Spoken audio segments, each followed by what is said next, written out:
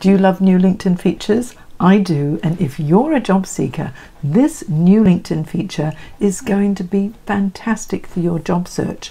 All you need to do is to go to a LinkedIn company page, and then there is a link that you can click that is I'm interested, and that will signal to the company's recruiters that your LinkedIn profile is one to consider for future roles. So, all you need to do is once it's rolled out, go to any company that you wish to target and click I'm interested. All right, here's a quick video just to show you how it looks.